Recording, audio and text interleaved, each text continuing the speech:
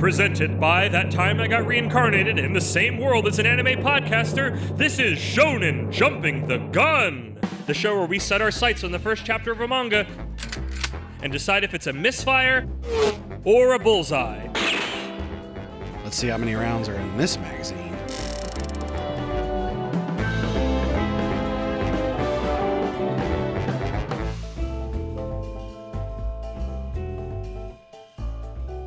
On today's episode, Two on Ice!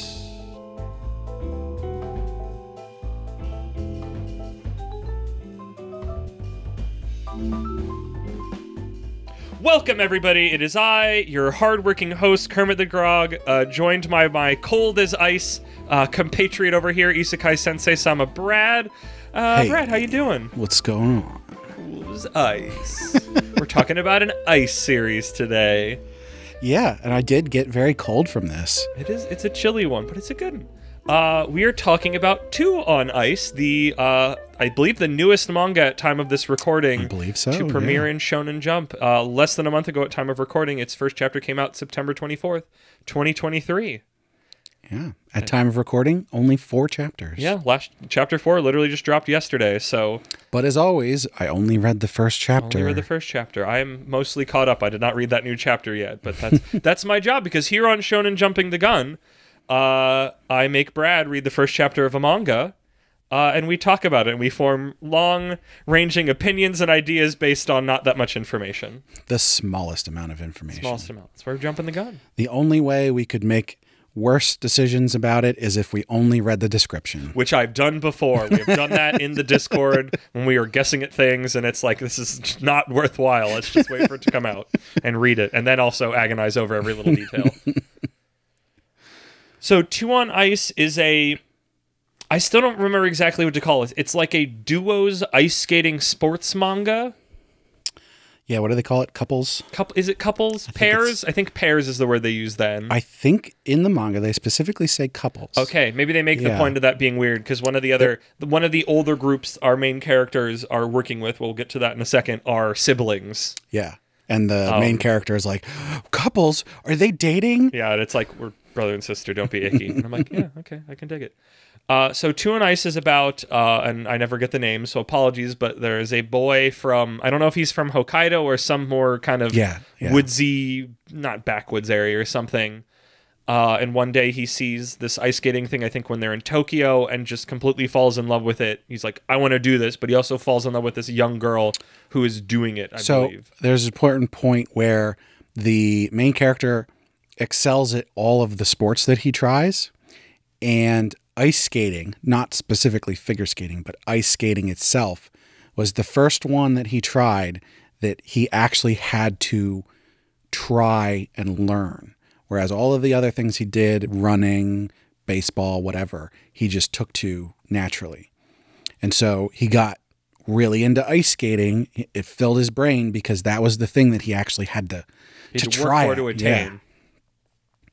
Right. So they go to Tokyo. He goes to Tokyo with his dad, and his dad knows he likes ice skating, and so he's like, "Hey, I heard you did really good in the you know race or whatever they had. Can you show me? Let's go to an ice skating rink." And the kid's like, "Yeah, okay, cool." Um, and I think he's in third grade at the time. I That sounds say. about right. And the whole thing is that like they don't really have like all year ice rinks where he lives. It's only Right, like because when the it's lake outside, freezes yeah. over. as opposed to Tokyo, where the they never get or hardly ever get actual frozen lakes, and so there's ice skating rinks all over the place. Yeah. Oh, I thought you had more of the story then. I can if you You want. can keep going. You're the one that read it recently. I'm just sort of in the story now. You're you're I did a skim. So Read it a couple weeks ago. they get to this ice skating rink, and they find out that actually they can't uh, go ice skating. There's no free skate right now because there's a competition going on, and it's called this thing called figure skating. And this boy, he's never heard of this before. And his dad says, "Do you want to check it out?" Yeah, let's check this out. And so they go and they watch this ice skating competition, and there's a lot of young kids in this, and one of them is a young girl who just does so much better than everybody else. She's doing jumping twirls and all the kind of like super fancy stuff that you expect adults to be doing. She's some kind of child prodigy. Yeah, a wonderkind. And the main character basically it, it- I'm going to use the word fall in love, the Yes. phrase fall in love. Yes, But he's same. not particularly falling in love with the girl as much as he is falling in love with the skill that she is exhibiting. It's a little of both, I would say. I think they're too young to attribute. Not true romance, but there's like a certain like I guess you could you could read it as Infatuation. romance infatuation. I feel like if we're we're we're slicing dice like that, but yeah, it's like some of it does seem like part of it is on the figure scene, but also almost like a mentor. Like you were just this like dream human that I learned my love for this thing from. Yeah. and I need to find you and catch up to you. And so we cut to years later. He's uh, second or th- uh, third year middle school, I want to say. And right. he's going to go to Tokyo for high school, I believe. Um, and as soon as he gets down there, he's like, I need to go ice skating. I can finally ice skate all the time. And so he goes to an ice skating rink because he hears he can do free skating. And uh, he finds out, oh, he can't right now because There's a competition. Well, I think there's practice for a competition, practice right? going on right On now. one of the rinks. Um, and it's more of like an open practice kind of thing. Um, but he goes out there and he meets this girl.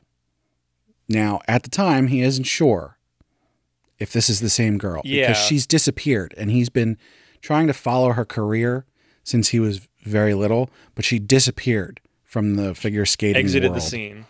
Um, but he's got this inkling. He thinks th- this might be the girl. And he goes out there and he exhibits lots of skill and and she sees him doing this and says, "Hey, do you want to train with me?" And he's like, "Yeah, of course. Yeah, let's do that because I, want to learn figure skating. It's my dream." And so they come back later that night for the private practice times. And at these times, uh, basically only, you know, a single or doubles can be on the ice at a time so they can practice their routines and everything. And when they get there, uh, one couples group is just getting off the ice. He recognizes them as the uh, receptionist that he talked to earlier that day. And he's like, oh, that's really interesting. Yeah, these are the siblings I believe we spoke of earlier. Right. And the girl comes and starts explaining how all of this works. And she's like, oh, yeah, they do couples. And he's like, what? They're dating? Oh my gosh, And she- yeah. she's like, no, no, they're actually twins. Uh, paternal. That's the right one for that, right? Yeah. Um, fraternal or paternal? I forget. Fraternal twin sounds right. The ones where they're not identical. I think it's fraternal. Because why would it, what would a, a, a paternal twin applies a maternal twin, and I don't know what that means. Yeah. Anyway, so he gets out on the ice and they're like, show us what you can do. And he immediately tries to do the hardest possible move he can he, that he knows, which is like the triple Lutz or something. Which, if you know figure skating, which I only have the very faintest passing knowledge of, it's a very difficult jump and spin. Um, I think you have to spin three times and then land in a certain way. And he basically pulls it off um, because he's been practicing for many years. It turns out that he, when he was younger, he would sneak out at one o'clock in the morning and go and skate on the lake until the sun came up almost every single day. And he would sneak home. So some of the idea is that he's talented, but it's very like rough because he's been doing this all alone. He's got Yeah. no instruction. It's just him attempting to recreate what he's seeing. So there's a bunch of little bits of the mechanics and the technique of it that he does not have. He is literally a roughed diamond. Yeah. And so after talking about this and, and showing off what skill he does have, they they go, well, he's got a lot of potential here, and so we should nurture this. At which point he's talking to this girl and she confirms, yes, in fact, she is that girl uh, that he remembers. And the reason that she stopped doing figure skating was because she wanted to do couples figure skating. but there was no one for her to pair with because she was too advanced. And so she basically dropped out. But she's been still skating this whole time, just on her own, practicing competitions. until she could find a partner. And she sees the potential to have a partner in our main character. Who is kind of, I guess we've said, infatuated Yeah. with her, And I think, but and that's not in a cre- like not. It, it is in some ways. Uh, hi, here's my future vision. In some ways, it's they address that it's kind of weird, but I don't think he's creepy about it. yeah. So I think they just acknowledge it like you've been following her career and you know all of the, like you know the moves to her stuff and you know all this information about yeah, her. she does because- make a joke about have, him being a stalker. Yeah, yeah, yeah, yeah. Um, but they do play it off as as a joke. Um, that is the whole summary, by the way, of the first chapter. And uh, I I personally I think that um, the the thing that he feels uh, when he's older, I do get the feeling that he's got some kind of like romantic feelings. But I think his competitive and like um, the spirit of his athletic ability is the main focus. Yeah. That's the thing that he's more passionate about. And then the these romantic feelings that he might have are sort of like underneath that. It's like a crush. Yeah, the the skating comes first, and the romance stuff, well, clearly present, is definitely kind of a lower simmer right. on things. So now with our our summary and things out of the way, Brad, what did you think of Two on Ice? Well, I wanted to specifically talk about the art stuff because there's something I noticed when I started reading this series that like there's sort of a new standard manga style that I've been noticing in a lot Oh. of these new series, which it's not particularly bad or anything like that, but I'm noticing uh, similarities in a lot of new series where it's just sort of the way that um, you know faces are drawn and like body structures and backgrounds especially. Um, the the series that do backgrounds properly uh, that you can't put dairy queens in um, they do a really good job of just doing you know real good detailed backgrounds that don't overpower the point of the scene. Um, and i don't know if that's if there's like some kind of tracing thing that they're doing where they're taking like actual landscapes or cityscapes or whatever and like tracing over it that the assistants are doing that or if you know the the mangaka is actually taking the time to like go the backgrounds are very important. I'm going to spend my time on those. Um, but i do appreciate that especially in, in the fact that they aren't overpowering It's Two They're- on Ice doing that? I guess I want to confirm. yeah, yeah. Okay. And so, and and I, the the thing is, is like I think the art in Two on Ice, there's there's nothing that jumped out to me that was like, oh, this is amazing art, but it was it's the kind of thing where it's like this is very competent. It's doing what it needs to do to convey the story, but it's not like going above and beyond. In I would say that, yeah. Um, people talked about it, and I definitely saw it a little bit, and it, it gets less as the chapter goes on, oddly enough. I think some of the proportions and faces are a little potatoey at the beginning of it, and then see that, yeah. stops happening all of a sudden. I'm just like, oh, that's interesting. Maybe that's how he just draws them when they're younger or something. That's what I that, yeah, I was thinking that I think that's the way that the younger kids are drawn are more sort of like squishy. Because I which- remembered noticing that, and then later on, I stopped thinking about it. And then when people were talking about it, I'm like, oh, yeah, I did have that weird thought that it looked kind of funky. But like, as I've been reading it, it hasn't dawned on me like this art's weird or bad and stuff like that. So it's it's got a look to it. I like it.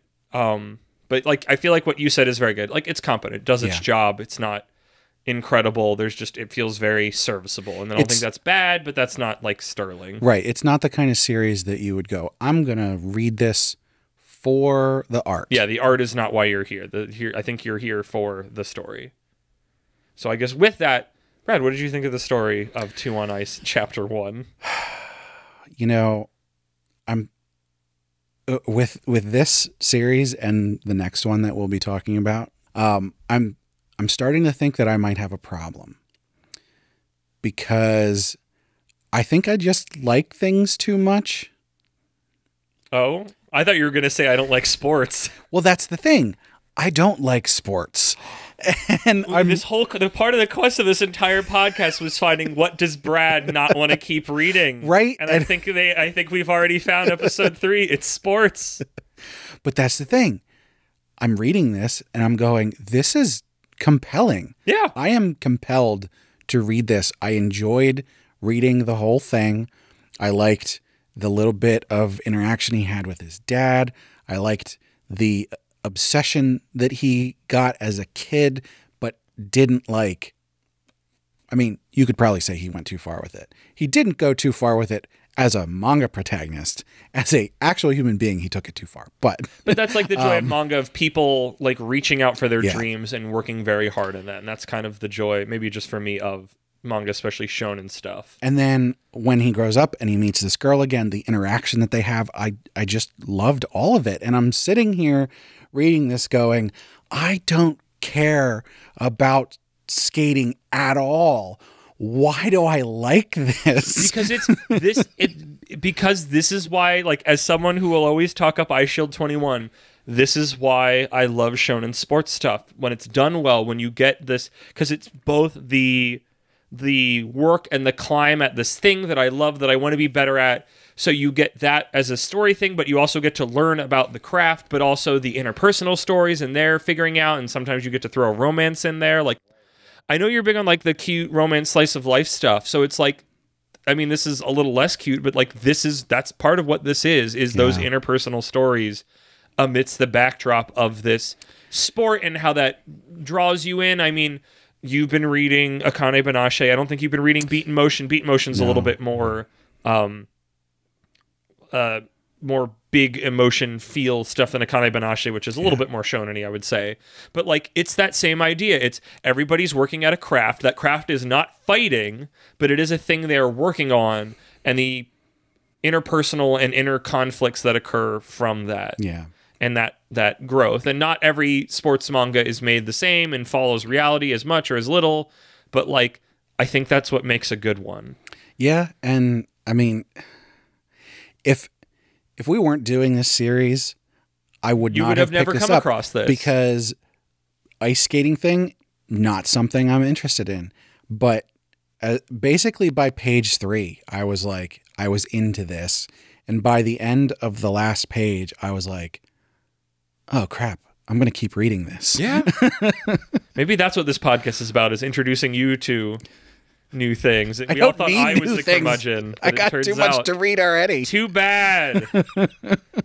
You're on a podcast, baby. This is what you got to do.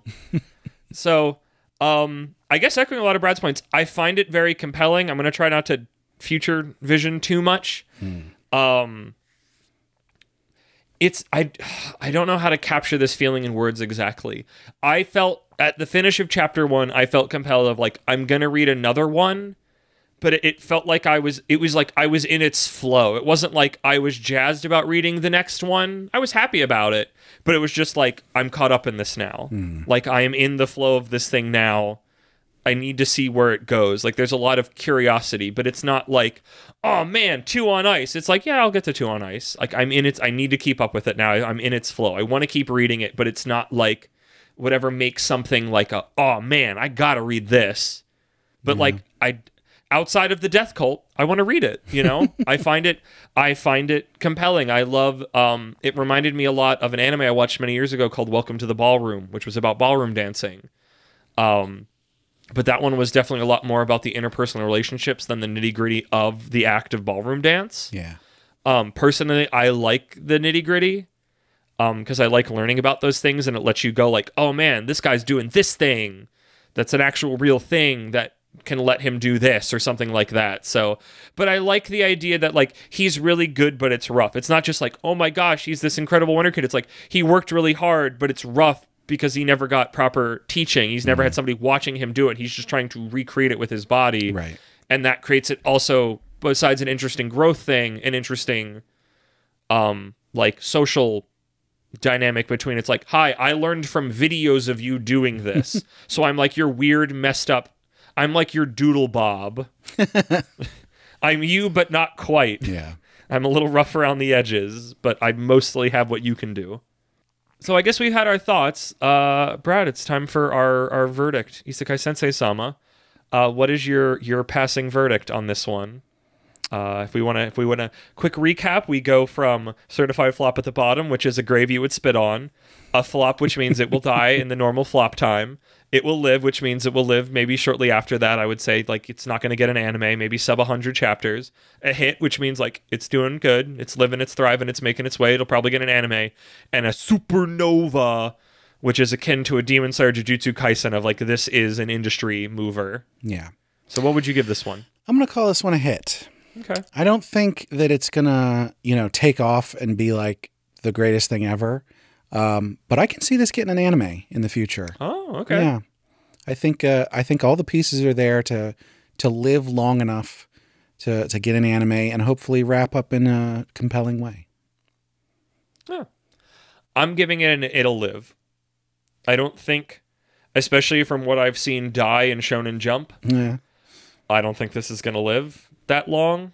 And some sometimes these verdicts are peppered with our emotions, and sometimes they aren't. And this one's just sort of the grim realization of like, it's a little bit of hope to make it they live over a flop, but like, like I said, I got I got caught up in it, so I I think it'll live.